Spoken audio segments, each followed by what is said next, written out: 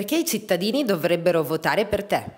Perché penso di aver messo a disposizione della città le mie competenze, la mia passione e quindi questa può essere un'occasione giusta per provare a modificare un po' l'andazzo che c'è stato in questa città nel corso degli ultimi anni. Sono una donna nata e vissuta a Rovigo che ama la propria città. Sono abituata a organizzare, coordinare, programmare, a sentire tutte le istanze, a mantenere un aspetto tecnico ma allo stesso tempo umano, perché per me prima di tutto c'è la persona che va rispettata e valorizzata. Perché i cittadini non dovrebbero votare il tuo avversario? Perché rappresenta la continuità con l'amministrazione passata. Il partito di maggioranza relativa all'interno della sua coalizione è lo stesso che ha deciso di sostenere Bergamin fino all'ultimo secondo, al punto tale che hanno deciso di espellere sei militanti perché avevano deciso, avevano osato votare contro il sindaco uscente. Il mio avversario è un bravo e stimato professore, però eh, non eh, ha nella sua vita l'esperienza che eh, serve per governare questa città. C'è bisogno di una persona concreta che sappia stare in mezzo alla gente, con la gente, che abbia vissuto i problemi, che li capisca, ma allo stesso tempo abbia le capacità tecnico-professionali e la determinazione di portare a compimento eh, gli scopi che mi voglio prefiggere per cui mi impegnerò. Spiega le tre priorità del tuo programma elettorale. Attenzione alle persone, alle esigenze, ai bisogni, alla tutela delle loro esigenze. Eh, le persone vivono all'interno di una comunità, bisogna recuperare un senso di comunità per la nostra città con eh, un'attenzione particolare al mondo dell'associazionismo e al fatto che i cittadini sono una risorsa e quindi politiche importanti di partecipazione attiva e tutto questo deve essere coniugato in un'ottica di innovazione sia dal punto di vista sociale che dal punto di vista tecnologico. I tre punti qualificanti del programma sono la sicurezza, la qualità e il lavoro. La sicurezza come vita vissuta in protezione civile, ma anche sicurezza per le nostre strade, per i nostri anziani, l'ambiente, la qualità dei prodotti. Le nostre eccellenze polesane, rodigine, delle persone culturali, ambientali, meritano di essere eh, riconosciute, rilanciate per garantire possibilità di lavoro, di occupazione e di ehm, attenzione per, nostro, per la nostra città, per il nostro comune. Come sarà composta la tua giunta? La mia giunta sarà composta da sette assessori, non otto, perché sette persone che lavorano attivamente sono comunque in grado di coprire tutte le esigenze della città, perché queste devono avere delle competenze specifiche, ognuno per i referati che saranno loro attribuiti. Ci saranno quattro persone scelte dalla società civile, e tre persone, ciascuna delle quali provenienti da una delle liste che supportano la mia coalizione. Non ci sarà continuità amministrativa rispetto al passato. Ogni persona all'interno della giunta dovrà essere estremamente preparata per gestire i problemi che si troverà ad affrontare. Sono abituata a lavorare in squadra e a coordinare la squadra. Ogni persona do sempre il giusto merito per competenze e capacità. E così sarà anche per la giunta di Rovigo. Terrò conto dei meriti, delle eh, proprie attitudini e del risultato che è emerso anche dalle urne per rispetto ai cittadini che hanno dato il voto. Non eh, penso che darò subito tutte le deleghe, probabilmente i primi mesi qualcuna la terrò, per esempio la protezione civile potrei tenerla io, proprio per evitare di dare incarichi su tematiche eh, delicate che meritano di essere approfondite e gestite con esperienza. La prima cosa che farai se diventi sindaco? Non è una cosa eh, pratica, è soprattutto un messaggio. La prima cosa che succederà se divento sindaco è che dai balconi di Palazzo Nodari scenderà la scritta verità per Giulio Regeni. La prima cosa è conoscere bene il comune, tutti i dipendenti del comune, partendo dalle figure apicali, ma anche come è strutturato a livello di servizi, di organizzazione, come sono messe le pratiche, soprattutto quelle più delicate, quelle che meritano attenzione, perché i cittadini devono avere risposte. Partendo dalla conoscenza farà una valutazione per poi poter procedere a riorganizzare, efficientare la macchina amministrativa comunale in maniera efficace, trasparente e qualificante perché possa offrire i servizi che i dipendenti stessi vogliono offrire al proprio comune. Quale futuro immagini per il centro storico? Sicuramente un futuro eh, più abitato per il centro storico.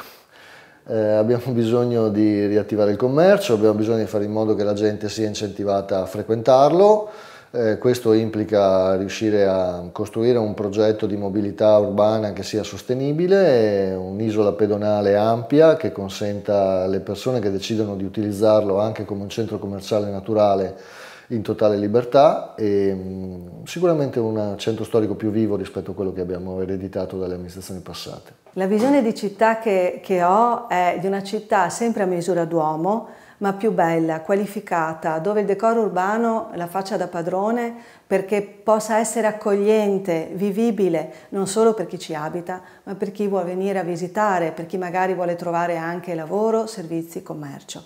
Quindi partirò dal sistema infrastrutturale delle strade, delle piste ciclabili, l'illuminazione, ma pensando al sistema delle piazze, al sistema delle fontane. Gli esempi che vi porto sono quelli legati al recupero di alcune progettualità, per cui ci sono già finanziamenti come Piazza Duomo, ma possiamo pensare alla copertura di Piazza Annonaria per poter rilanciare quella zona che ha bisogno di impulso.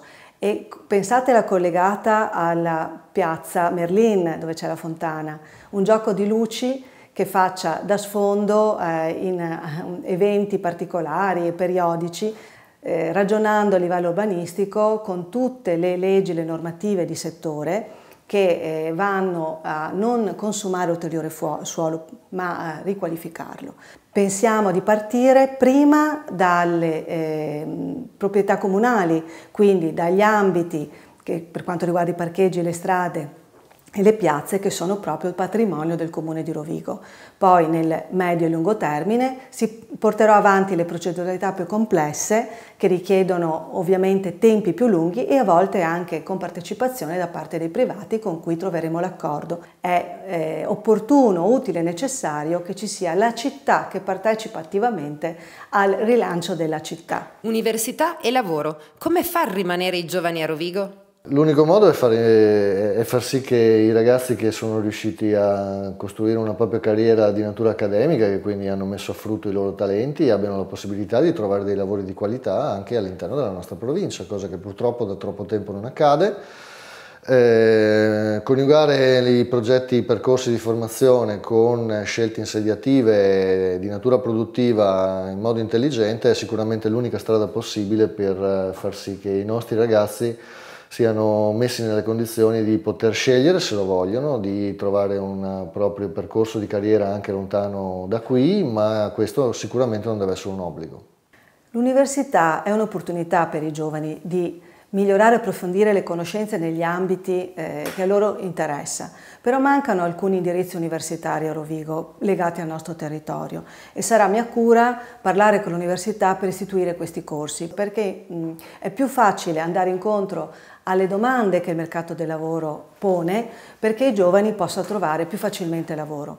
Poi possono anche fare esperienze altrove, ma è giusto che trovino nel proprio territorio, nella propria terra, eh, la possibilità di lavorare e di mettere a frutto queste esperienze. Eh, un altro aspetto è l'approfondimento eh, dell'alternanza scuola-lavoro per le scuole superiori, perché prima di andare all'università c'è, la scuola superiore, quindi bisogna pensare anche a quei giovani e viste le richieste del mondo del lavoro che non trovano sempre ascolto, è opportuno lavorare in questa direzione perché dopo la scuola superiore questi ragazzi trovino, trovino lavoro per esempio nei settori artigiani che più ne fanno richiesta.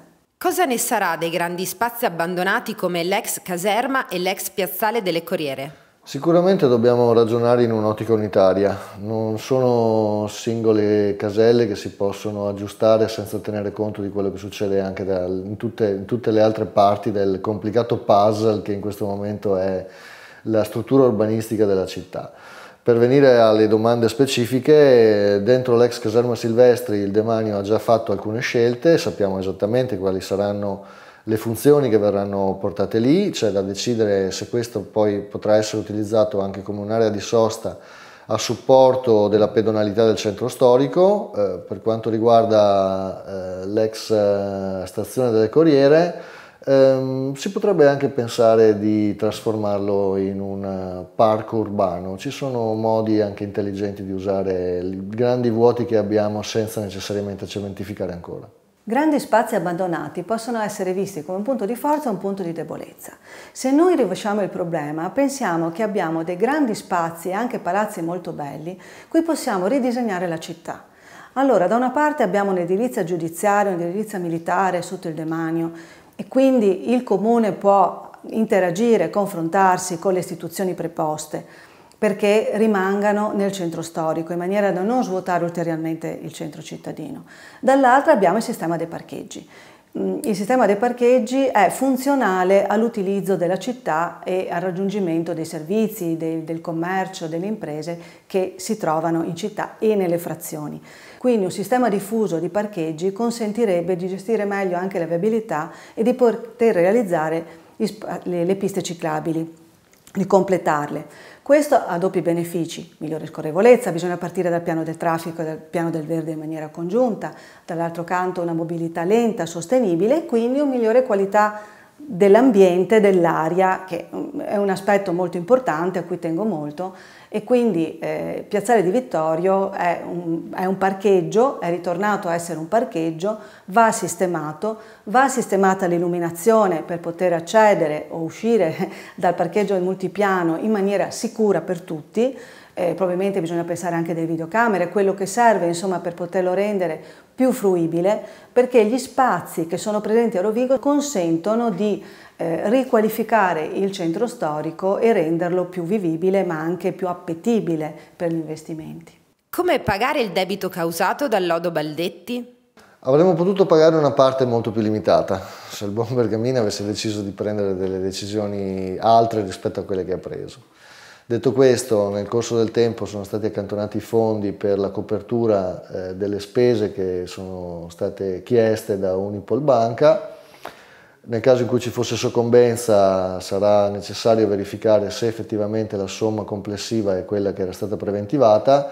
Credo che sia necessario esplorare tutte le possibilità di ulteriore trattativa per eh, provare a limitare i danni eh, che ormai sono in qualche maniera stati causati.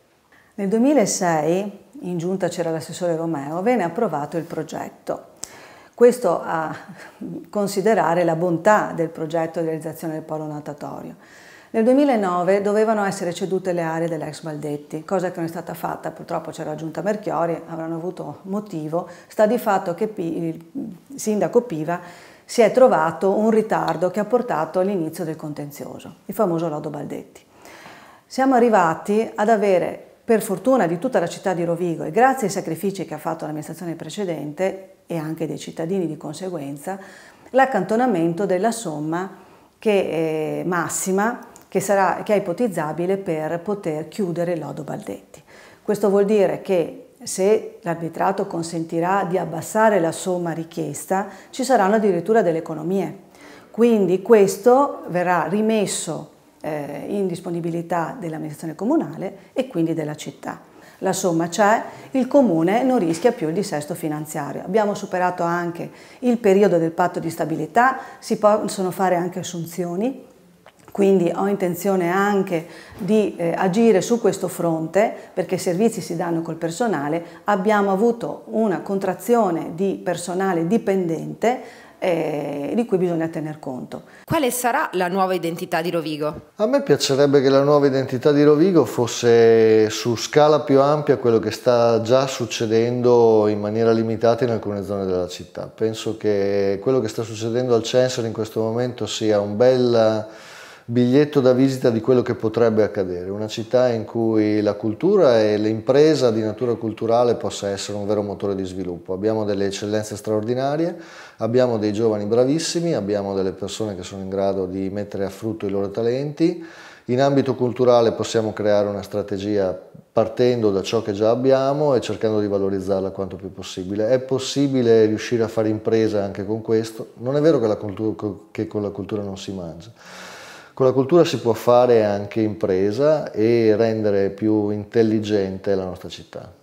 Una città a misura d'uomo, smart, più moderna, tecnologicamente eh, utilizzerà eh, le tecniche moderne appunto che mancano, sarà più pulita, più rispettosa dell'ambiente, più attenta alla persona nelle sue varie declinazioni e età, eh, sarà una città più decorosa, e, e, sicuramente avremo meno buche perché mi impegno assolutamente a risolvere questo aspetto che è fondamentale perché non possiamo correre in bicicletta o in macchina e rischiare di farci male ogni volta che usciamo di casa. Saluta il tuo avversario. Beh, ne approfitto per salutarla in diretta, poi magari ho visto che usa molto il cellulare quindi le manderò un messaggio. Professore, è stata una bella sfida, ci ritroviamo comunque vada in consiglio comunale e lì ti accorgerai che sono una donna determinata e sono completamente diversa dal mio predecessore. Buona giornata.